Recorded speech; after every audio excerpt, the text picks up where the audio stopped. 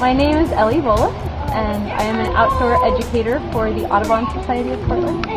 And I'm standing here at Marmot Cabin, and behind me is the amazing Joe Miller Wildlife Sanctuary. And we're out here with an awesome group of students right now this spring. This is a fantastic place for us because there are so many animals, so many plants, so many opportunities for discovery and um, to get closer with the outdoors. Look around, look around, see if you can find and touch a tree that has a little needle. That one? When the kids come out here, we want this to be an experience where they can feel at home. And there's a couple different things that we do to help with that. So we've got the Love Your Mug station, which is where each kid will have a unique mug all to themselves. Audubon staff prepares the meals and we'll enjoy eating those together. It's all part of an experience for us to be spending as much quality time together in this special place as we can.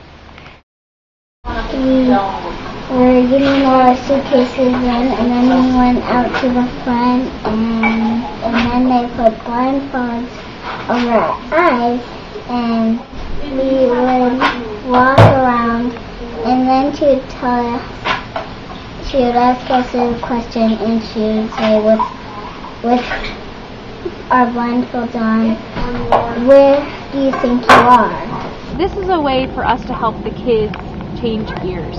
Um, so, in putting the blindfold on and taking away their sense of sight, we're asking them to start to think about a different way to approach the outdoors. Someone said we're at the edge of the hill, and it was bright, and we took off our blindfolds, and we were at the edge of the field. We had lunch. Um, at nighttime, we learned about bats, and we made journals in the afternoon, and it was really fun.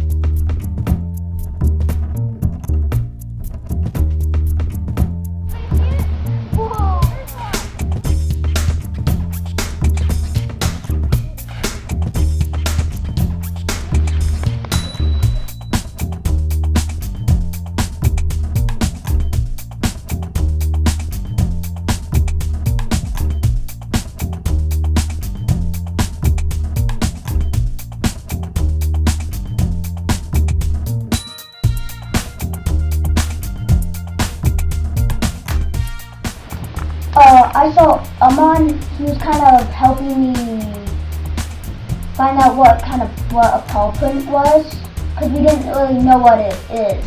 Amon guessed it, and then the rest of them found out. Cool. What did you guess, Upper? Something like it. Cougar of some sort. Mm. Red means respect. I got two respect beads. The first one, I was very polite to to um to Cynthia and mm,